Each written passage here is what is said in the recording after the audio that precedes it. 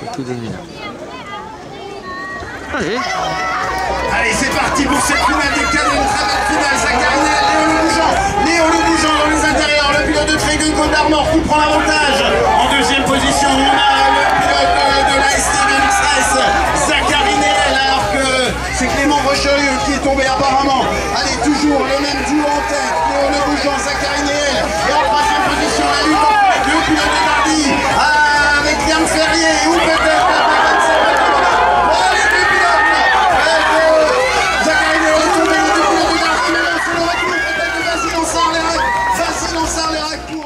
Anzar euh, Lérac Basile. Ouais Deuxième marche du podium pour l'espoir BMX de Dardy, Bretin Monard Arthur. Et le vainqueur de cette épreuve, donc pour le BMX Trégueux Côte d'Armor, le Bougeant Léo.